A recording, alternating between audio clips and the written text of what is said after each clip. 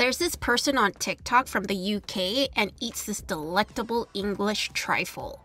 It looks amazing and I need to recreate it here in the States. It's supposed to have a layer of jelly, which I think it's jello, custard, cake, and whipped cream. Almost everything is made from scratch except the jello. Let's make it together. The ingredients list will be in the description box below. First, we're going to macerate some strawberries. Look at this one with the long stem. It's so cute. I think this is about a pound of strawberries. Sprinkle about 1 to 2 tablespoons of sugar. Mix and set aside. Strawberry Jello, J E L L O. I don't want my measuring cup to crack when I add boiling water, so I'm going to run it through some hot water. The direction says to add jello powder to 1 cup of boiling water. Stir for 2 minutes or until all the powder is incorporated. Add 1 cup of cold water and stir. Add the macerated strawberries to the jello. Ladle the jello mixture into a bowl. I'm using one big bowl and one small bowl for the trifle. I still have some jello left so I'll put them in these small containers as well. These need to be refrigerated for at least 4 hours. Let's make the chiffon cake. This recipe is from Chowhound. I just recently discovered that they closed their website after 25 years. Such a bummer. I'm glad I saved this recipe. In a small bowl, add 140 grams or 1 cup of cake flour, 1 teaspoon or 4 grams of baking soda, quarter teaspoon of salt. Mix the dry ingredients together and set aside. In a large bowl, add quarter cup or 60 grams of oil, 135 grams or half a cup plus 2 tablespoons of sugar, 22 grams or 2 tablespoons of water, 1 teaspoon of vanilla extract. 3 large eggs, room temperature. We're going to separate the egg whites from the yolks. Yolks will go in with the wet ingredients and the whites will go in a new clean bowl to be whipped. Whip the egg whites into soft peaks, then sprinkle 2 tablespoons or 25 grams of sugar. Then continue whipping till stiff peaks. Mix the egg yolk mixture together until it looks light yellow. Add the dry ingredients and mix.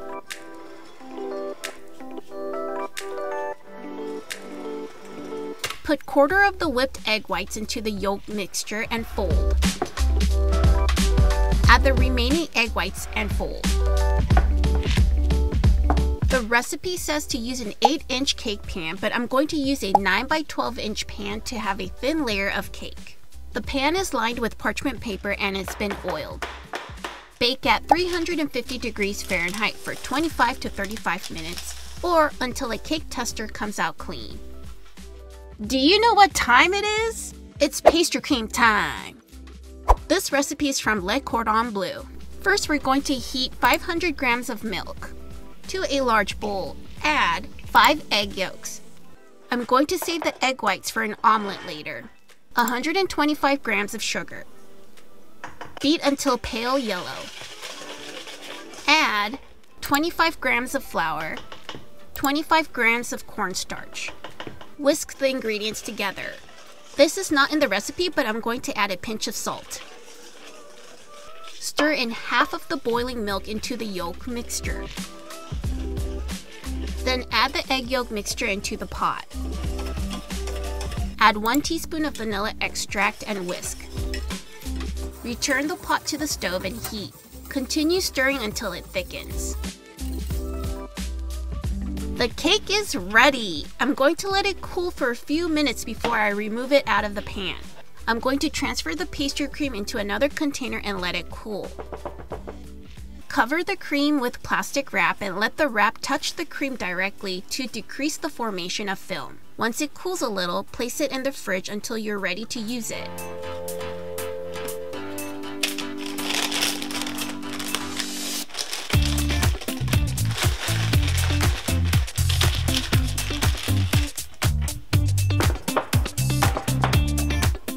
Want to first start with a layer of pastry cream over the strawberry jello. Briefly measure the container and cake.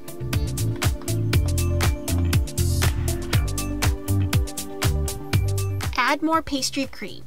I thought I had a lot of pastry cream, but I might not have enough for the little trifles.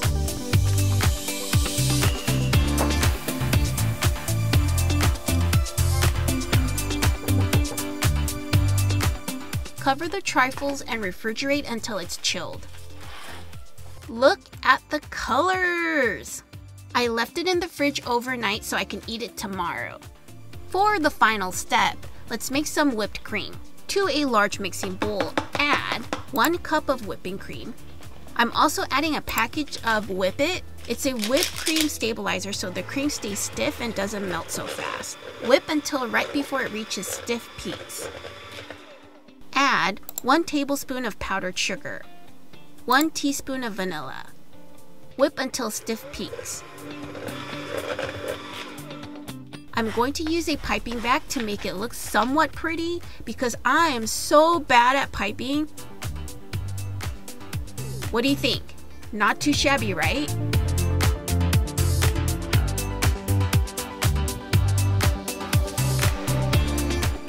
Look at all the layers. Try to get all the layers deep down. Ooh. That is a big bite.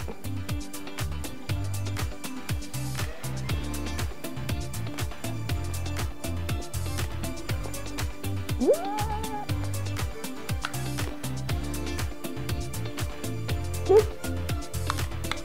guys have to try this. This is so good. Until next weekend, guys. Mm. Bye.